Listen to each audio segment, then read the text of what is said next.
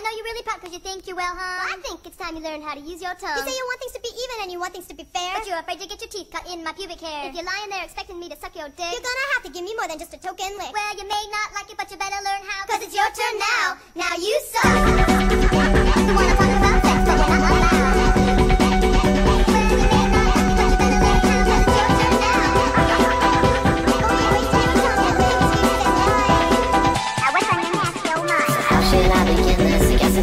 when you were with them, and how he never even took you out to dance.